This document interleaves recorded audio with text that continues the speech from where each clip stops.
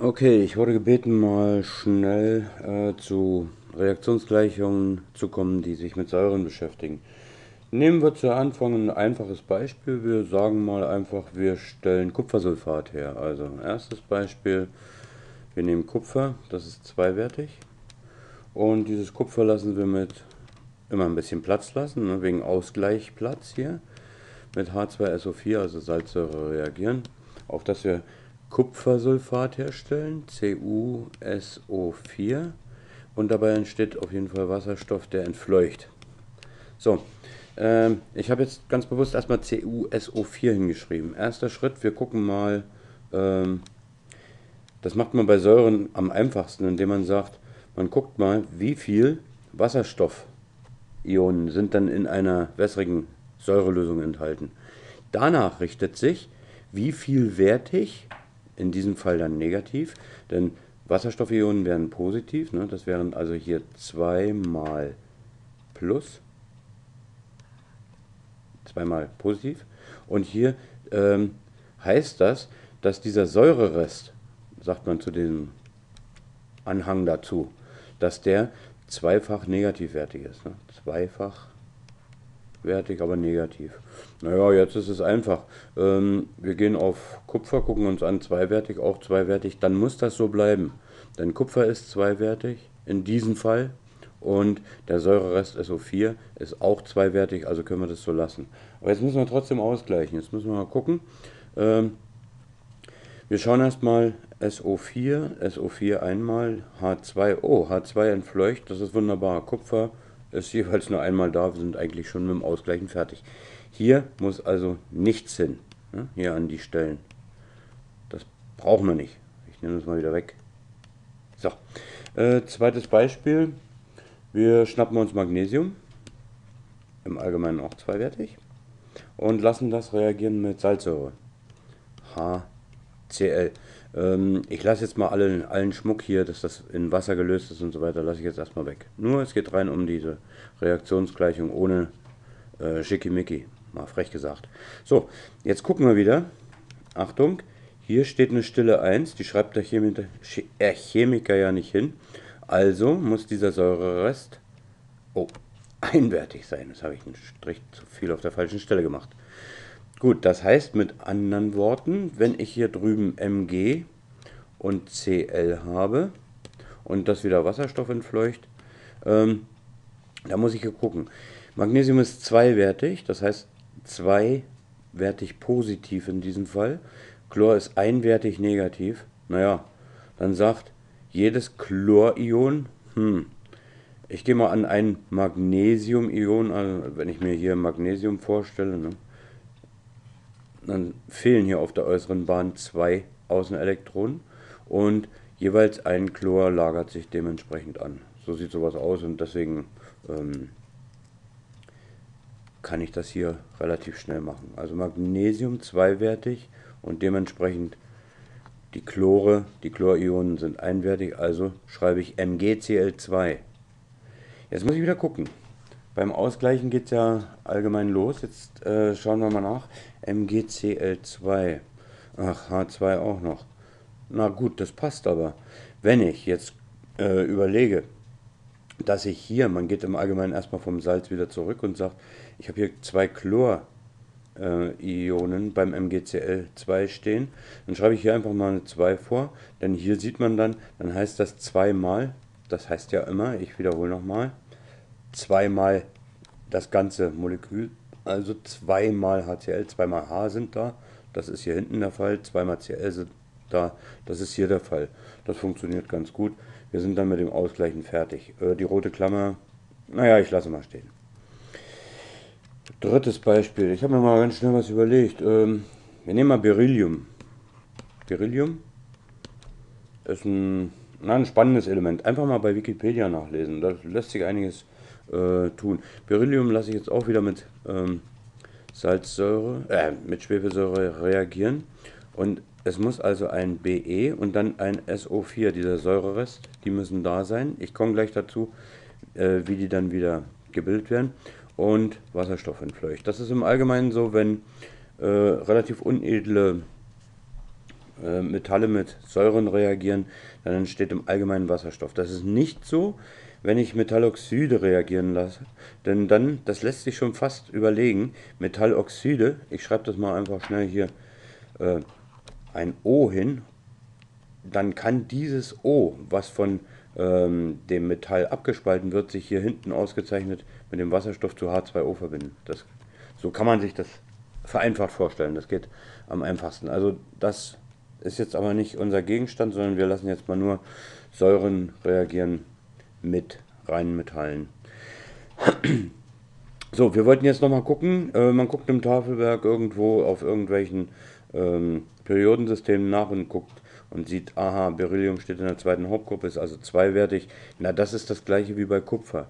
Ne, dieser, man sieht hier wieder am H, an der Menge der Wasserstoffionen, die dann in der wässrigen Lösung existieren, dass das hier zweiwertig sein muss, der Säurerest. So wie oben beim Kupfer auch. Und demzufolge kann ich sagen, das zweiwertig positiv, das zweiwertig negativ. Das kann ich so lassen. Hier muss ich nichts dazu schreiben. Wasserstoff entfleucht. Wir gucken mal wieder. SO4 ist da, SO4 ist da einmal. Äh, Beryllium komme ich dann drauf. H2, oh, H2 passt. Keine Ausgleichung nötig. Das vierte Beispiel, was ich mir überlegt habe. Ähm, ah ja, ich nehme Beryllium wieder und lasse das mal mit einer anderen Säure, und zwar mit Phosphorsäure, reagieren. H3PO4 ist die Phosphorsäure. So, ich schreibe jetzt wieder erstmal Beryllium und den Säurerest dahinter. PO4 plus und Wasserstoff wird wieder entfleuchen. Da werden wir dann sehen. Jetzt kümmern wir uns erstmal hier um diese Verbindung. Das ist wichtig. Wir sehen, aha, drei Wasserstoffionen, also ist der Säurerest in diesem Fall dreiwertig negativ. Schön.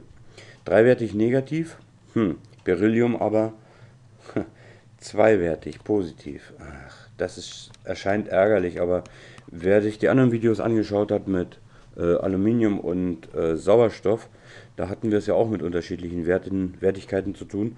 Ähm, da macht man folgendes, dann sagt man, ja gut, ähm, hm, das ist im Prinzip wie eine Art Überkreuz multiplizieren. Ähm, ich mache es mal in blau dahinter, dann fällt es besser auf. Ich schnapp mir diesen Säurerest, klammer den ein und sage mir, wenn der ähm, dreiwertig ist, dann kann ich doch sagen, ich hänge hier einfach eine 2 dahinter. Die gehört dann als auch in schwarz dazu in, zu der Formel. Ich hänge hier zu dem Säurerest, den klammer ich ein, hänge eine 2 daran, dann heißt das zweimal diesen Säurerest. Und hier schreibe ich einfach eine 3 dahinter, hinter das Beryllium. Gucken wir mal. 3 mal zweiwertig ist 6. 2 äh, mal dreiwertig ist auch 6. 6, 6 passt. Die Wertigkeiten passen zueinander. Ich gehe jetzt nicht auf die Moleküle ein, das habe ich schon in anderen Videos getan. Jetzt müssen wir uns allerdings nochmal äh, Gedanken machen. Jetzt haben wir erstmal rein weg äh, schematisch das Berylliumphosphat äh, hergestellt, aber jetzt müssen wir die Gleichung noch ausgleichen. Erster Schritt, wir gucken mal. Oh, wir haben hier drei Beryllium. Ach je, na, das ist eine ganz schön viel äh, das sind ganz schön viele, aber die können wir ja hier ausgleichen. Jetzt wäre das Thema durch. Jetzt haben wir aber hier zweimal den Säurerest. Dann heißt das letzten Endes, wir müssen uns darum kümmern, hier eine 2 davor schreiben. Halt, ich mache das mal farbig. Ich mache das mal so. Wir schreiben hier, hier vorne, dreimal Beryllium dazu. Jetzt mache ich es in dunkelgrün. Wir haben hier zweimal diesen Säurerest, dann schreiben wir hier eine 2 davor. Jetzt stimmt das beinahe. Ne? Jetzt kann man sagen, dreimal Beryllium, links, rechts, passt. Zweimal Säurerest, zweimal, ich erinnere wieder, in Klammern gesehen, nehme ich ja alles mal zwei, also habe ich zweimal Säurerest und ich habe zweimal äh, drei Wasserstoffatome. Das mache ich jetzt in, ach je, was nehme ich für eine Farbe? Ähm, ja, Aubergine. Ähm, jetzt gucke ich noch und sage, das hier ergibt 6 Stück, 6H. Und dann schreibe ich hier noch eine, noch eine 3 davor. Nochmal kontrollieren, 3 mal 2 ist 6. 6H habe ich hier, zweimal den Säurerest habe ich hier und dreimal Beryllium habe ich hier, das passt also. Man kann im Allgemeinen bei der Ausgleicherei grundsätzlich so vorgehen. Ähm, bin ich in anderen Dingen schon vorgegangen. Ich mache das mal ein bisschen allgemeiner äh, anhand dieser Beryllium-Geschichte. Ähm, mache ich das mal so. Wenn ich Metall, also ganz allgemein jetzt, na, rot, allgemein, kann man wie folgt sagen. Man, wenn man ein Metall und eine Säure reagieren lässt. Ich schreibe mal die Säure so als Wasserstoff und Säurerest. Wenn ich das so reagieren lasse, dann entsteht daraus im Allgemeinen ein Metall, äh, Metallsalz. Und ja, Metallsalz, ich möchte es am liebsten gar nicht schreiben. Ein Metall und Säurerest. Das ist also ein Salz. Säurerest nennt man im Allgemeinen auch Salz. Und es entsteht entfliehender Wasserstoff und zwar molekular. Deswegen schreibe ich H2 dahinter. So, wenn das so geht, schaut man nach, nach der Wertigkeit. Wie viele habe ich hier? Die Wertigkeit des Säurerestes lässt sich also bestimmen danach, äh, wie viele Wasserstoffatome da dran sind. Wertigkeit hiervon. Einfach bloß gucken, was steht hier drin und dann gucken äh, und dann überlegen, dann muss der Säurerest so sein. Und dann weiß man ja die Wertigkeit des Säurerestes, diese Wertigkeit. Und beim Metall schaut man ganz einfach nach äh, im Periodensystem und guckt, seine Wertigkeit nach. Das heißt hier diese Wertigkeit des Metalls, die muss dann hier mit dem Säurerest ausgeglichen werden. Wenn ich das habe, hier am Beryllium zum Beispiel, lässt sich das gut darstellen. Wenn ich das habe, dann muss ich notfalls den Säurerest einklammern und entsprechend multiplizieren. Also hier irgendwas ranschreiben. Also eventuell einklammern den Säurerest und etwas ranschreiben, was dann die entsprechenden äh, Ausgleichszahlen betrifft. Und dann bin ich eigentlich schon durch. Dann habe ich äh, das so hergestellt und dann kommen die allgemeinen Regeln. Dann gehe ich immer von diesen, von diesen größten Molekülen aus, nämlich hier auf der rechten Seite und versuche das dann erstmal mit der Säure zu klären und eventuell auch mit dem Ausgangsedukt. Hier drüben entstehen Produkte, hier vorne sind Edukte. Ähm, mit dem Ausgangsedukt äh, Metall. Und wenn ich diese Wertigkeiten dann alle, äh, wenn ich diese ähm, Moleküle und ähm, Ionen alle ausgeglichen habe, dann äh, kümmere ich mich Rest, äh, zum Schluss dann nochmal um den Wasserstoff. Das geht dann relativ fix. Um das nochmal so darzustellen, mache ich das nochmal anhand von einer anderen Reaktion. Das wäre jetzt zum Beispiel, ich lasse äh, Eisen. In diesem Fall, Eisen kann ja mehrere Wertigkeiten haben. In diesem Fall lasse ich es mal dreiwertig sein. Und ich nehme dazu ähm, HNO3. Also entsteht ein Nitrat. Pardon. Ähm, so, das heißt, also ich schreibe erstmal wieder Fe, mein Metall, und den Säurerest mit ein kleines bisschen Lücke, weil ich ja hier entsprechende Zahlen wahrscheinlich hinmalen muss. Hier meinen Säurerest dazu. Und ich schreibe auch dazu, dass wieder mal Wasserstoff entfleuchen wird. Molekular wohlgemerkt immer. So, und wenn ich jetzt meine Salpetersäure, ne, die nitriert das Eisen, wenn ich die mir schnappe, dann geht's los. Ähm, dann schaue ich erstmal, Eisen ist dreiwertig. Hier aber weiß ich, weil hier nichts steht, dann muss das wohl ein, hatte ich in einer anderen Farbe, muss das wohl einwertig sein. Dieser Säurerest hier. Von hier bis hier. Ne? Immer das Haar abgespalten gesehen. So, wenn das hier also einwertig ist, aber das Eisen ist dreiwertig, naja gut, dann äh, bleibt mir nichts weiter übrig, als zu sagen, drei, ein Eisen schnappt sich drei Säurereste. Also mache ich wieder meine Klammer, schwupp, und schreibe ran einfach eine 3. Jetzt habe ich wenigstens schon mal das Salz fertig gebildet. Wenn das gestimmt hat, jetzt kümmere ich mich von hier ausgehend, von der rechten Seite ausgehend um ähm, den anderen Kram. Ähm, hm, jetzt ist das so eine Sache. Jetzt müssen wir erstmal gucken. Wir haben also dreimal einen Säurerest. Also schreibe ich hier, jetzt mache ich diesen Säurerest mal grün, damit man, so wie im vorigen Beispiel, dreimal einen Säurerest. Das heißt, ich kümmere mich darum, dass ich auch hier drei Säurereste auf der linken Seite, das sind keine, dass ich hier auch ähm, eine 3 davor schreibe. Wenn ich das habe, hm, dann stehe ich vor dem nächsten Problem. Dann sage ich, naja, das ist aber vielleicht ein bisschen ungünstig.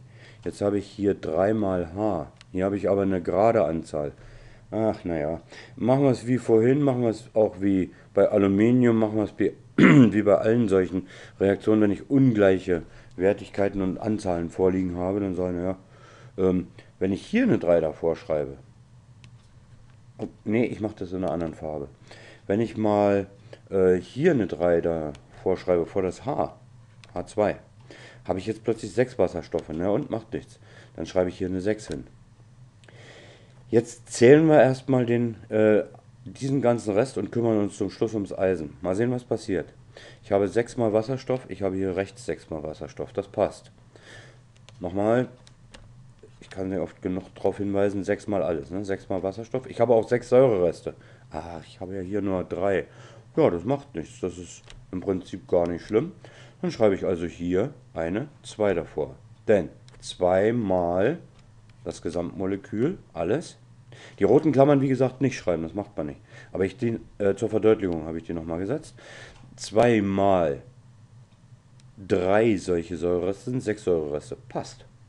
Jetzt habe ich aber hier 2 mal Eisen. Naja, dann wird uns das nicht weiter äh, erschrecken. Dann schreibe ich hier noch ein 2 davor und dann müsste alles stimmen. Dann habe ich also Nochmal gucken. 2 mal Fe, ja, 2 mal Fe. 6 mal H, mhm, 6 mal H. 6 mal Säurerest, 2 mal 3 ist 6, 6 mal Säurerest passt. Jetzt könnte man alle möglichen Reaktionen noch hinschreiben. Ach, naja. Ich weiß nicht, ob sich das jetzt lohnt. Ähnliche Prinzipien des Ausgleichens oder des äh, Herstellens von irgendwelchen Verbindungen, die lassen sich eigentlich auf alles anwenden. Äh, deswegen mache ich an der Stelle jetzt mal Schluss. Ich hoffe, es hat geholfen und ich hoffe, die Anfrage ist damit ausreichend beantwortet. Ähm, Nochmal, ich bin eigentlich kein Chemielehrer hauptberuflich, sondern ich mache Mathe und Physik, das ist mein Fach. Aber ich gehe gerne auf Anfragen ein und ich sage es auch nochmal, obwohl ich es geschrieben hatte. Äh, solche Anfragen, wenn ich es kann, beantworte ich es, aber nicht Hilfe, wir schreiben morgen eine Arbeit. Ich habe auch sehr viel zu tun und muss das irgendwie auch in meinen Zeitplan immer mit reinkriegen. Ich helfe zwar gern, aber alles geht nicht immer sofort und äh, auf Abruf. Gut, hoffentlich hilft Ich wünsche gutes Gelingen beim äh, Üben der Gleichung. Also nochmal, äh, auch für alle die, die das noch keins dieser Videos gesehen haben. Man macht immer hier an der entsprechenden Stelle, hier drückt man selber die Pause-Taste und gleicht dann aus. Probiert es dann aus und guckt dann erst wieder, na, was hat der Olle Köhler denn da erzählt? Hat denn das bei mir geklappt? Aber ach ja, ich habe was vergessen oder nein, ich hab's. Na, dann kann man es. Ne? Immer hier an diesen Stellen schön Pause drücken. Dann kann man wunderbar diese ganze Sache üben.